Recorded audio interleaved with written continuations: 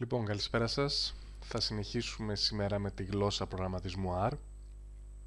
Θα δούμε γιατί είναι τόσο διαδεδομένη γλώσσα, γιατί είναι η νούμερο ένα επιλογή των επιστημόνων για την ανάλυση δεδομένων και πώς μπορεί να μας φανεί χρήσιμη από το να φτιάξουμε απλά προγράμματα μέχρι το να φτιάξουμε προγράμματα που σχετίζονται με big data και ανάλυση δεδομένων και φυσικά πώς μπορούμε να αξιοποιήσουμε τη θεωρία γραφημάτων και να τη συνδυάσουμε με τη γλώσσα προγραμματισμού R. Η R είναι μία γλώσσα προγραμματισμού και ένα περιβάλλον λογισμικού ουσιαστικά για στατιστική ανάλυση, για αναπαράσταση γραφικών και αναφορές. Είναι η πιο διαδεδομένη γλώσσα προγραμματισμού στατιστικών παγκοσμίων σήμερα. Είναι η νούμερο ένα επιλογή των επιστημόνων και γι' αυτό έχει και μια πολύ μεγάλη ενεργή κοινότητα προγραμματιστών. Αυτό φυσικά μας βοηθάει στο ότι μπορούμε να ε, μπούμε σε αυτή την κοινότητα και αν έχουμε κάποια εξειδικευμένη απορία να την ρωτήσουμε και να δούμε αντίστοιχα τι άλλο υπάρχει σε παγκόσμια κλίμακα. Οπότε πώς ξεκινάμε; Ουσιαστικά αυτό που θα χρειαστούμε είναι να εγκαταστήσουμε το RStudio. είναι δωρεάν το RStudio Desktop. Για να το εγκαταστήσουμε είναι πάρα πολύ απλή διαδικασία. Θα μπείτε σε αυτή τη διεύθυνση RStudio.com .com Product Art Studio.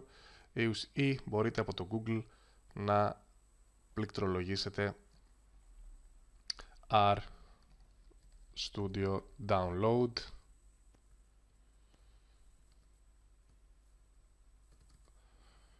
Και ουσιαστικά θα σας βγάλει κατευθείαν το link όπου εδώ επιλέγετε την δωρεάν έκδοση R Studio, R Studio Desktop. Είναι υπεραρκετή έχει όλα τα integrated tools για την ARP που μας ενδιαφέρουν. Πατάμε download, η διαδικασία είναι πάρα πολύ απλή. Αναλόγως στο λειτουργικό που έχετε, αν έχετε Windows 7, 8 ή 10, επιλέγετε, κάνετε κλικ εδώ στο πρώτο link. Αν έχετε macOS στο δεύτερο link, αν έχετε Linux, αναλόγως στην έκδοση του Linux που έχετε. Λοιπόν, αυτή είναι η πρώτη ε, επιλογή που έχετε και αυτήν σας συστήνω να κάνετε, να κατεβάσετε το RStudio. Αν δεν θέλετε ωστόσο ή δεν μπορείτε για κάποιο λόγο να το εγκαταστήσετε στον υπολογιστή σας, υπάρχει και το uh, RStudio Cloud, το οποίο μπορείτε πολύ εύκολα να πλογηθείτε στη διεύθυνση https rstudio.cloud Επαναλαμβάνω να πατήσετε rstudio.cloud Εδώ βλέπετε you are pretty new to cloud. Μια, έτσι για να σου φτιάξει λίγο τη διάθεση. Λοιπόν πάμε τώρα. rstudio.cloud RStudio Cloud και βλέπετε α, τώρα το έχω ήδη ανοίξει. Η πρώτη εικόνα ωστόσο θα σας είναι αυτή εδώ Welcome to our Studio Cloud, do, share, teach κτλ. Ουσιαστικά αυτό που χρειάζεται να κάνετε είναι ένα sign up. Είναι πολύ απλή διαδικασία. Βάζετε το email, το password και το όνομά σας αν θέλετε. Πατάτε sign up και θα σας δημιουργήσει ένα account. Αφού σας δημιουργήσει το account, θα έχετε στη συνέχεια ένα project που μπορείτε, βλέπετε, θα ανοίξει το RStudio α, μέσα σε αυτό το περιβάλλον. Ουσιαστικά σας δημιουργεί ένα workspace. Εδώ σας λέει ποια είναι τα project που θέλετε να δημιουργήσετε. Επιλέγετε New Project. Το ονομάζετε όπως θέλετε. Και θα σας ανοίξει το περιβάλλον του RStudio. Όπως θα δείτε και όταν το εγκαταστήσετε είναι ακριβώς το ίδιο περιβάλλον. Οπότε είτε χρησιμοποιείτε την cloud έκδοση της R είτε ε, μπορείτε να εγκαταστήσετε τη δωρεάν έκδοση του R Studio.